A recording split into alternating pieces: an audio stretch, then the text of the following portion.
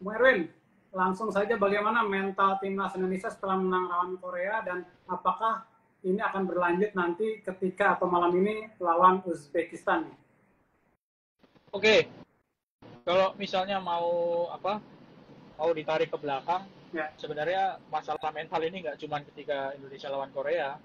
Jadi hmm. uh, mental itu justru teruji ketika Indonesia habis kalah lawan Qatar 1-0 eh 2-0 sorry udah kalahnya itu kontroversial wasitnya ya. Ada beberapa momen-momen yang ya kita anggap kontroversial.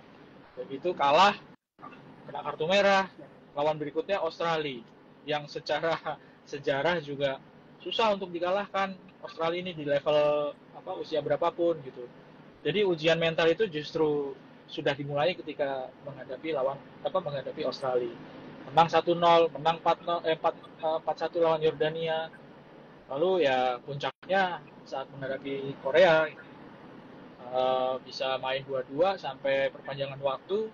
Terus adu penalti dengan penalti yang sampai segitu banyaknya dan bisa menang. Ya. Nah, itu ya kalau mental sih uh, sudah teruji ya. Cuman kan ya kita bicara ini semifinal lawannya juga pasti lebih berat dan tekanan faktor non teknisnya juga pasti akan lebih besar seperti itu.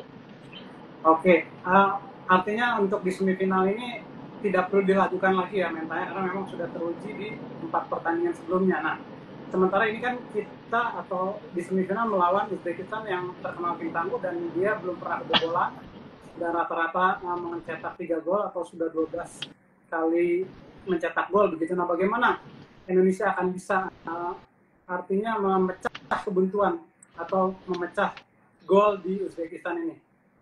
Ya, kalau bicara soal nggak kebobolan, Korea waktu lawan Indonesia juga belum pernah kebobolan kan di tiga pertandingan awal, ya kan? Terus lawan Indonesia mereka kebobolan dua dua eh, dua gol dan eh, kalahnya adu penalti. Artinya kita sudah pernah menghadapi lawan yang tangguh dalam pertahanan. Indonesia sudah pernah. Gitu uh, soal apa uh, tim kelas dunia, tim level Asia papan atas juga Korea Selatan juga sebetulnya kan nggak kalah dari Uzbekistan. Jadi saya rasa untuk menghadapi Uzbekistan ya mungkin yang diperlukan adalah kesabaran yang penting ya. Disiplin udah udah pasti. Kesabaran juga udah pasti. Sama uh, efektivitas menyelesaikan peluang. Itu yang sangat penting sih kalau menurut saya. Karena di pertandingan semifinal lawannya juga Uzbekistan yang sudah terbukti empat pertandingan mereka bisa clean sheet. Itu kan perlu kesabaran ya perlu terutama ketika menyelesaikan peluang karena apa? Sangat mungkin peluang itu nggak akan banyak didapat oleh Indonesia. Dalam dua kali 45 menit. Kalau pertandingannya 11 lawan 11 ya. Kita bisa banyak peluang lawan Korea itu karena Korea main 10 orang menit dari menit 70 jadi menurut saya uh, yang paling harus diperbaiki adalah soal bagaimana efektivitas menyelesaikan peluang. Artinya secara tim ini tim Uzbekistan ini uh, Bung Erin melihat uh, dia koordinasinya akan seperti apa nih sampai sampai sekarang kan belum pernah bola. Ya yang jelas bagus. Uh, mereka mainnya tuh apa secara teknis individu bagus, secara uh, organisasi permainan juga bagus. Ada beberapa pemainnya kan yang main di Eropa ya, yang main di Liga Rusia, ada yang main di Liga Prancis. Itu saya rasa juga menjadi salah satu kekuatan buat Uzbekistan selain karena mereka memang dari level juniornya juga sudah bagus kan.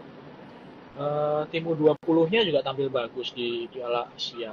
Mereka juga bisa jadi juara U23 tahun sebelum Arab tuh kan mereka juga juara kan waktu dua tahun ya waktu sebelum ini kan mereka masuk final juga artinya kan mereka punya ini kan pemainnya udah beda-beda pasti tapi mereka bisa mempertahankan prestasi selalu ada di uh, top ya. level di kompetisi uh, junior gitu ya di bawahnya tim senior. Ini kan bukti bahwa mereka pembinaannya bagus. Oke. Oke Bung Erwin mengenai efektivitas juga nih kira-kira ketiadaan atau absennya Rafael Strike di Indonesia, apakah ini akan berpengaruh? Dan kalau misalnya memang efektivitas itu tetap dijaga, siapa kira-kira yang bisa menggantikan uh, Strike? Oke, okay.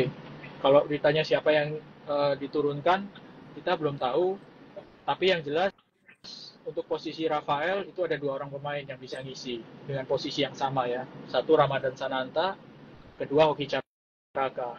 Cuma kalau soal uh, menit bermain di turnamen ini kan Ramadan Sananta yang unggul daripada Hoki. Jadi Ramadan Sananta yang punya peluang besar untuk main. Tapi PR terbesarnya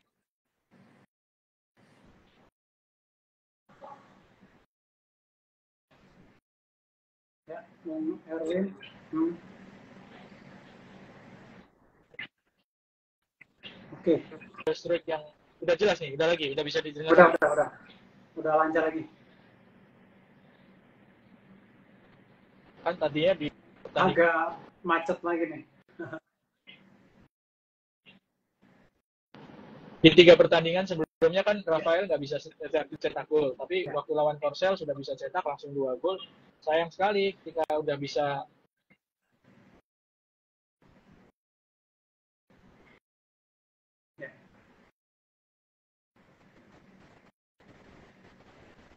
Oke.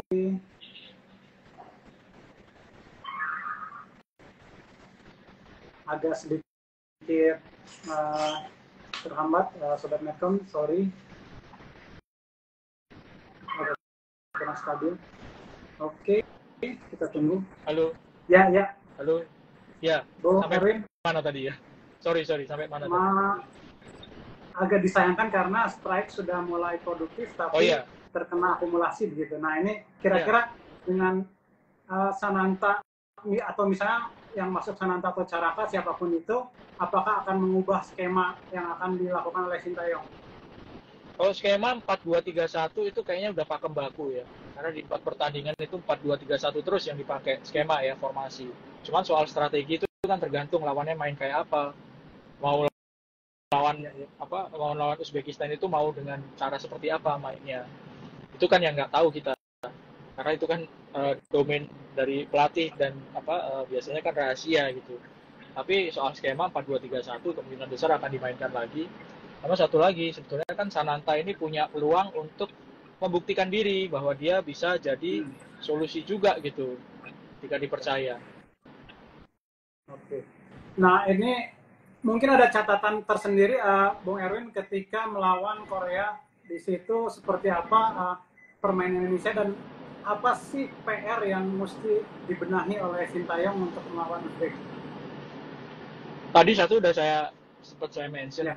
uh, selesaiin peluang sekecil apa pun karena peluang itu sangat mungkin nggak akan banyak didapat melihat ketatnya melihat apa rekor clean sheet-nya Uzbekistan kan ya terus yang kedua uh, bagaimana fokus disiplin konsentrasi di lini pertahanan. Karena waktu lawan Korea waktu lawan waktu menghadapi 10 orang dari menit 70 itu justru Indonesia kebobolan kan? Justru kebobolan dan sudah unggul sebetulnya 2-1 kebobolan skor sama 2-2 lewat skema serangan balik Korea yang sangat cepat.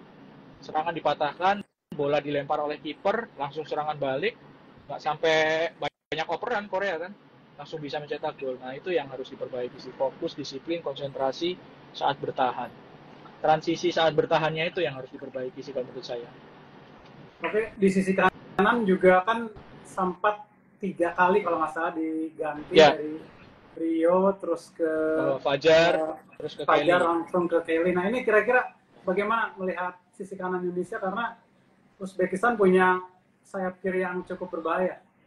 Oh. Ya, ini juga jadi PR sih. Tapi dalam artian PR secara keseluruhan dalam bagaimana bermain organisasi pertahanan. Kalau mau difokusin lagi memang di sebelah kanan ini yang jadi PR karena kalau di kiri kan udah pasti punyanya Arhan dan selalu jadi starter Arhan kanannya ini yang juga jadi PR. Uh, saya rasa Coach Sintayong juga sangat mungkin sudah ambil pelajaran lah dari dari pertandingan lawan Korea. Siapa sih kira-kira yang cocok untuk dimainkan untuk jadi starter, jadi nggak ngabis-ngabisin pergantian pemain gitu. Iya, iya. Iya kan? Oke. Okay.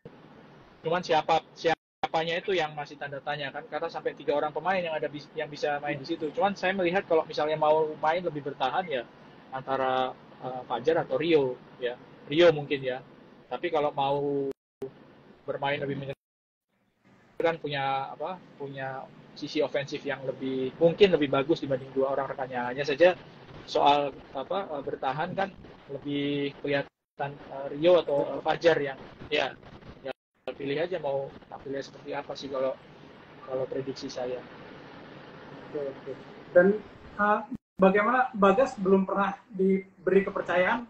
Apakah memang kurang secara skill atau seperti apa nih? Ya kalau saya sih ngelihatnya ini apa semua yang dibawa ke sana tuh skillnya beda-beda tipis ya. Ini lebih kepada uh, kebutuhan tim aja. Kalau saya melihatnya seperti itu. Oke, terakhir uh, Bung Erwin, uh, Ya. ada, laga ini akan dipimpin oleh salah satu wasit kontroversial, Mas Sen Yin Hao. Nah ini juga sempat rame ini netizen juga khawatir nih bagaimana melihat performa dari wasit asal Tiongkok ini dan VAR-nya juga kan dari Thailand yang juga kontroversial. Oke, jadi gini, Indonesia sudah mendapatkan ujian dan sudah pernah Ya. merasakan bagaimana nggak enaknya terkena kartu merah, terkena penalti di pertandingan pertama lawan Qatar. Ya. Yang penting adalah bagaimana mengurangi pelanggaran-pelanggaran yang yang yang konyol gitu, yang pelanggaran yang nggak perlu dilakukan gitu, yang pelanggaran iseng ya, pelanggaran yang menjurus apa kasar ya itu sih yang penting ya karena kalau soal wasit saya rasa juga wasit kan ada ininya ada pengawasnya juga. Kalau misalnya dia bertindak maksudnya yang melakukan kesalahan yang fatal itu kan juga CV-nya dia juga akan tercoreng gitu. Bisa kena sanksi juga kan kalau wasit. Artinya di level ini ya manusia bisa aja salah gitu. Tapi kan nggak akan se, se apa seceroboh itu sih kalau menurut saya ya wasit. Untuk melakukan kesalahan yang, yang fatal gitu. Meskipun ya kemarin waktu lawan Qatar kita merasa wah wasitnya dicurang nih wasitnya di apa wasitnya kurang bagus nih ya karena Indonesia berada di pihak yang dirugikan gitu kan Oh. tapi itu juga kan masih bisa diperbuatkan gitu jadi ya belajar dari pengalaman lawan Qatar jangan mudah terpancing lah gitu ya tetap fokus mudah-mudahan Oke. Terima kasih Bung Erwin Fitriansa, jurnalis yang juga pengamat sepak bola. Terima kasih Bung Erwin sih kesempatannya. Oke, selamat di jalan Bung Erwin.